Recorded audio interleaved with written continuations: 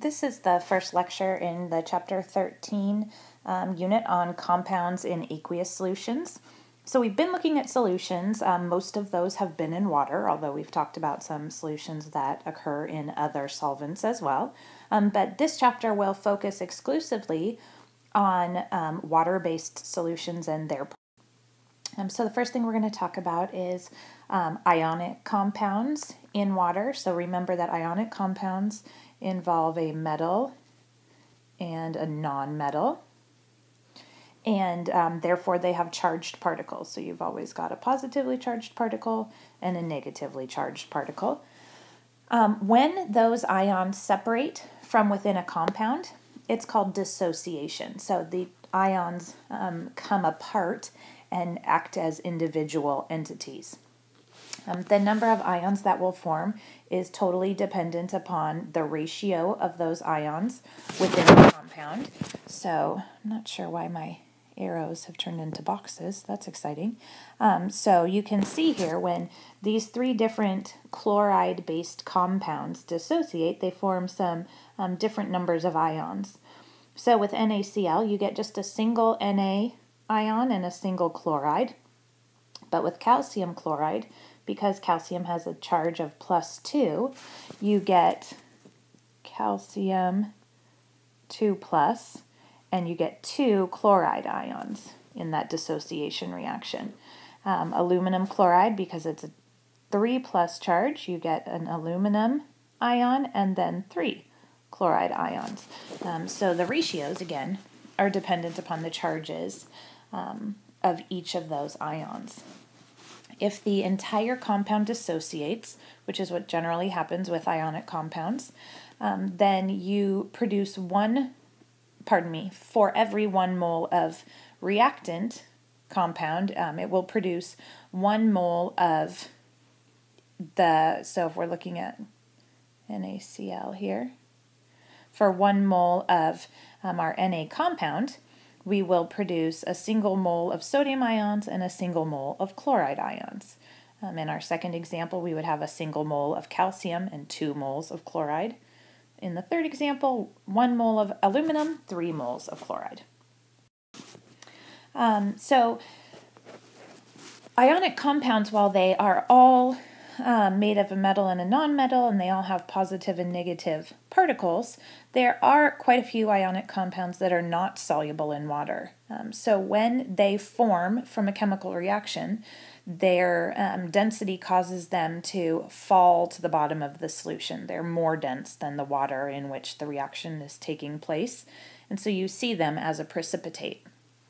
Um, when we represent this process um, when we look at the movement of ions or the combining of ions within a chemical reaction, we can't represent the ions that don't dissociate.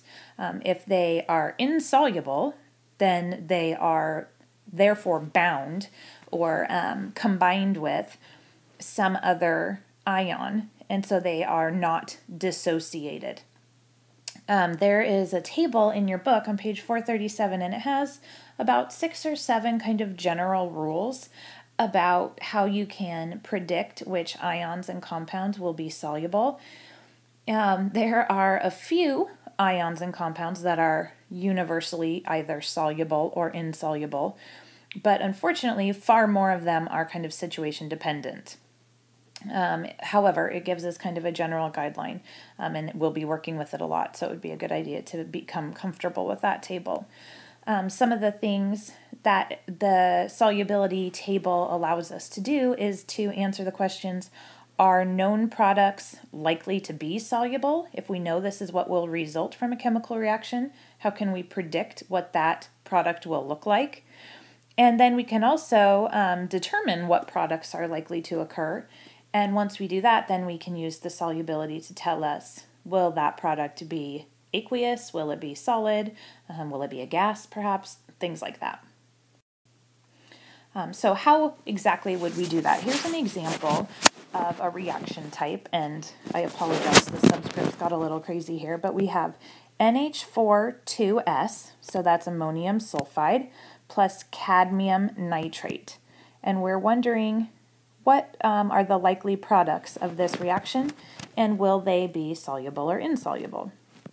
So the first thing we need to do is identify our reaction type. In this case, we're dealing with a double replacement reaction, right? We have a compound plus a compound. That leads us to the conclusion that it is most likely a double replacement. There's no oxygen present, so it's not a combustion reaction. Um, it can't be synthesis or decomposition or single replacement. So we're left with double replacement.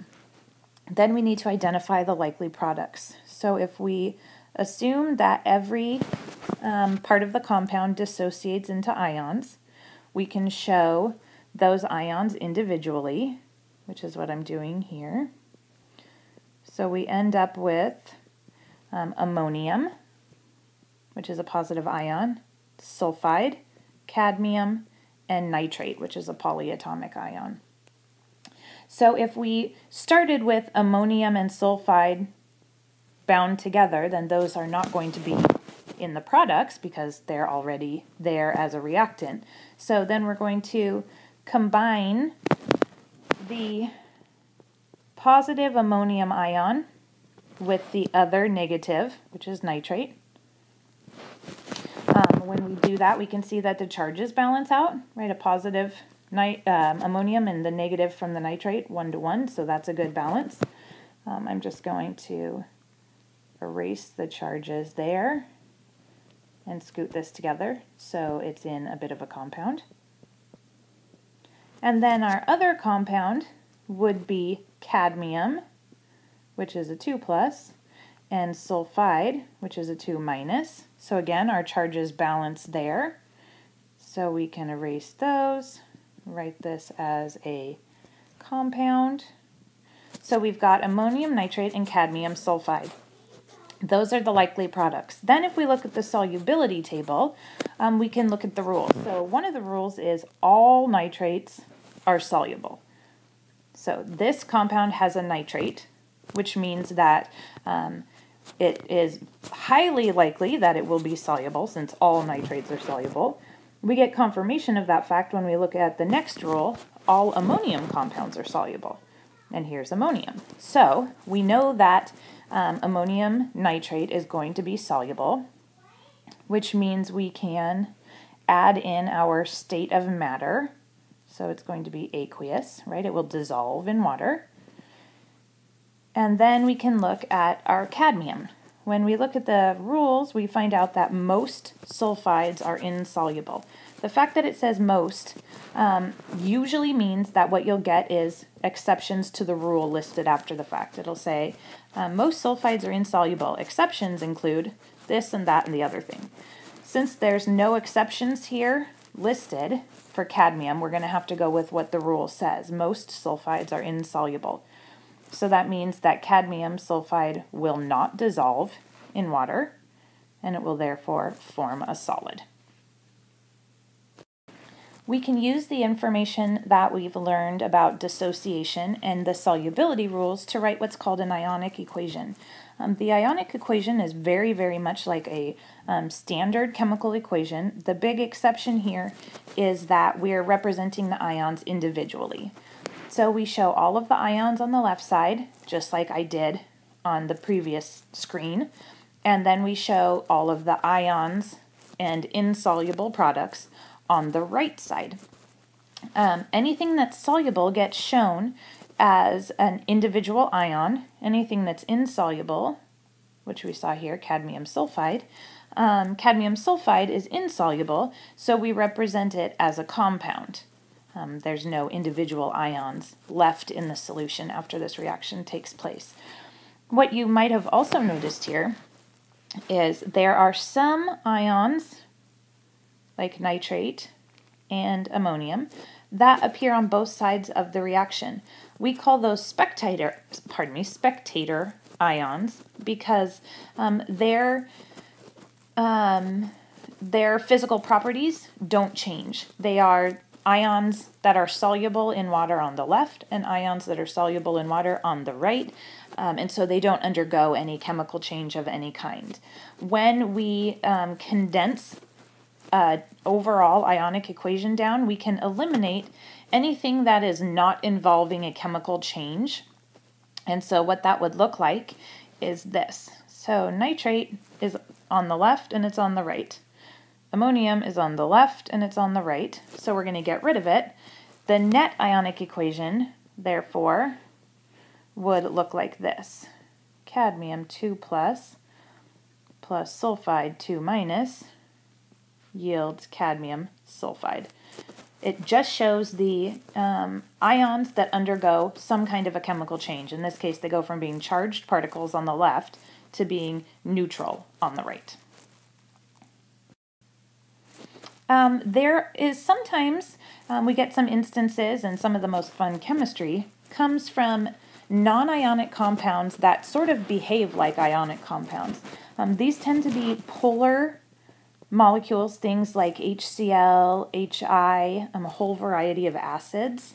Uh, water is another one that behaves like it's an ion, even though it's not. Um, so when sometimes um, when we add polar compounds to water, they will form ions in solution, which is really kind of an interesting process. It's called ionization, and it means that the solvent, in this case the water, is um, forcing a change within that neutral compound. It's forcing the compound to fall apart, to break up essentially, and form some ions where they wouldn't otherwise do so on their own. Um, we can determine which polar compounds are likely to do that um, by comparing the bond strength of the two compounds, so the solute and the solvent. If the strength of the attraction, basically, if the water um, or some component of the water is more attractive to the elements involved in the polar compound, then the water will split them up. Um, so basically, the water has a uh, has something that's appealing. Usually, it's the um, electronegativity of um, one part of the water um, versus the compound itself and that attraction will split up the bonds between the compound. Let's look at the next slide and you'll see a picture of this.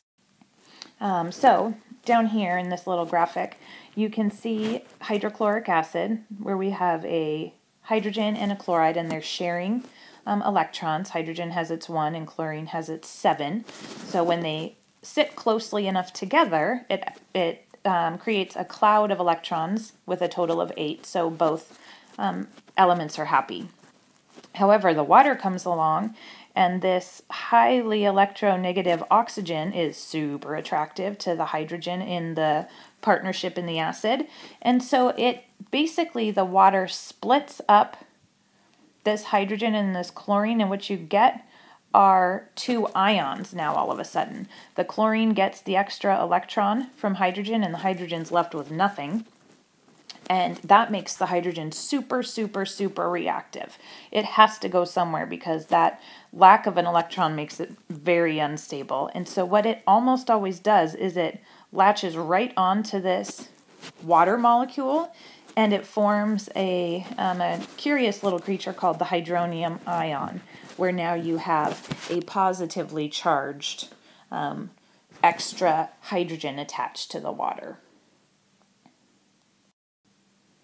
Um, just a reminder or kind of a, a point of emphasis um, the halogens, the group 17s, so uh, iodine, fluorine, chlorine, bromine, these guys are the, the halogens and they are super um, strongly attracted to hydrogen based compounds because they need one more electron, and lo and behold, hydrogen has its one electron. Um, and so they always form a polar molecule in that type of a relationship. They also, um, because that hydrogen's one electron is pretty easy to pull away from it, um, it causes them to be very strong electrolytes. They can pretty easily dissociate into two ions, into the hydrogen and the bromide, or any of the other ones. Um, there are some other polar compounds that will form ions, but not very high concentrations of ions. And so we call them weak electrolytes. They do have some charged particles, but not a lot. for the amount of total solute that's